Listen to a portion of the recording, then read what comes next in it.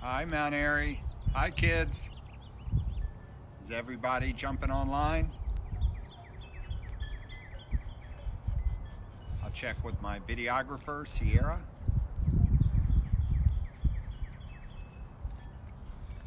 We have three, two minutes to go.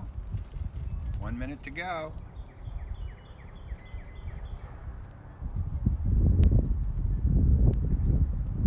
Are we almost ready? We got some people jumping on.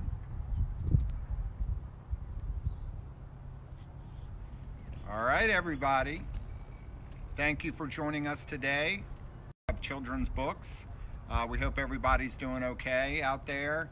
We know it's a little tough, and uh, uh, you would like to, uh, of course, your family members you live with, you may be seeing them more than you want to, but it's an interesting uh, everybody. We hope you're doing well.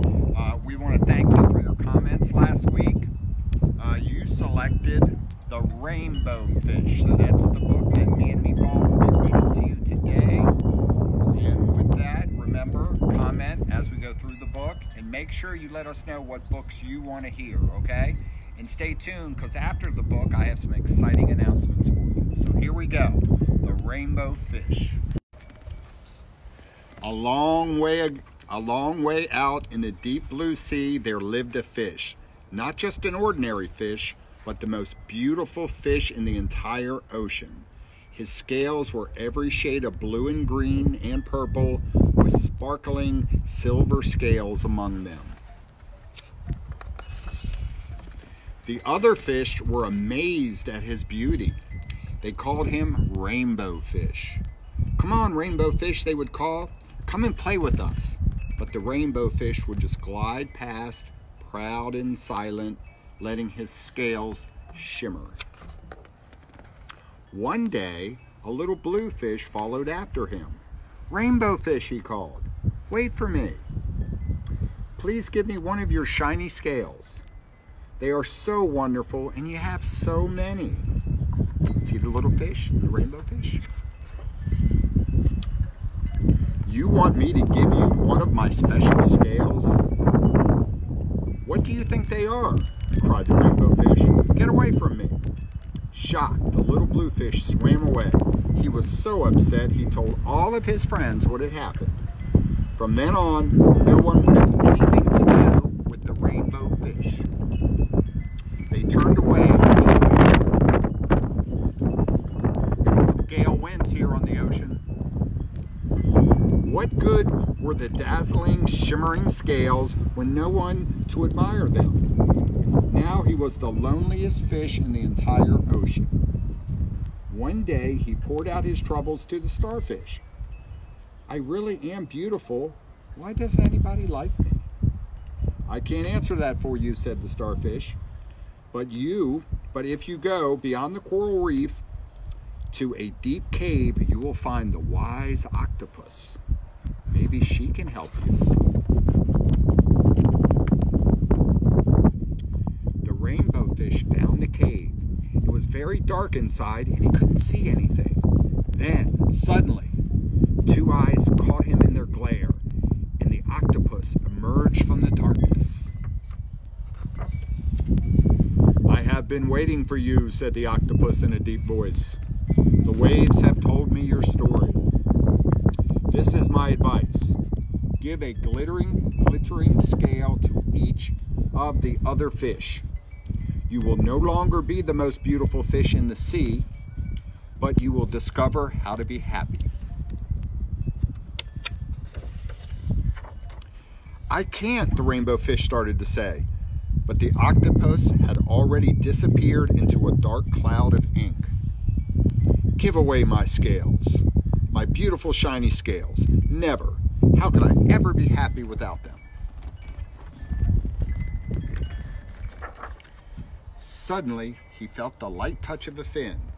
The little blue fish was back. Rainbow fish, please don't be angry. I just want one little scale. The rainbow fish wavered. Only one very small shimmering scale, he thought. Hmm, well, maybe I wouldn't miss just one. Carefully, the rainbow fish pulled out the smallest scale and gave it to the little fish. Thank you, thank you very much. The little blue fish, bubbly, playfully, he tucked the shiny scale in among his blue ones. A rather peculiar feeling came over the rainbow fish. For a long time, he watched a little blue fish swim back and forth with his new scale glittering in the water. The little blue fish whizzed through the ocean with his scale flashing. So it didn't take long before the rainbow fish was surrounded by the other fish. Everyone wanted a glittering scale. The rainbow fish shared his scales left and right, and the more he gave away, the more delighted he became. When the water around him filled with glimmering scales, he at last felt at home among the other fish. Finally, the rainbow fish had only one shiny scale left. His most prized possessions had been given away, yet he was very happy. Come on, rainbow fish, they called. Come and play with us. Here I come, said the rainbow fish, and happy as a splash, he swam off to join his friends. And that's the end of the story. He is now swimming in the ocean. Let's pretend he's below this boat with all the other fish he's now happy. So there's a great moral to this story, and I will ask your parents to explain that to you, okay? So ask your parents about the Rainbow Fish book and what it meant to give something away and to gain some friendships uh, in between. So, as promised, one, I want to thank you for joining us today. Next week, we're going to change it up a little bit. Council President Larry Hushour will be reading a book about trains. He'll be doing it at the train station, and it's called the Bancy Book. I hope I got that right, but we'll be advertising and you'll know about it and you can get a good shot at Mackenzie the Caboose and uh, join in for a short story, 15 minutes. And also be on the lookout on the town Facebook page. We're gonna have a sidewalk chalk uh, project. It's gonna be a competition where you can win gift certificates to local restaurants. Our good friend Betsy Rook that went to the same schools you went to here in Mount Airy is going to be overlooking this program. So get ready to get your chalk out and paint up the sidewalks and submit. You'll hear more about that later. Thank you, and I hope you have a great rest of your day. Meatball, you want to say goodbye? That's Meatball's way of saying goodbye. Thank you, Sierra, for filming. Bye-bye.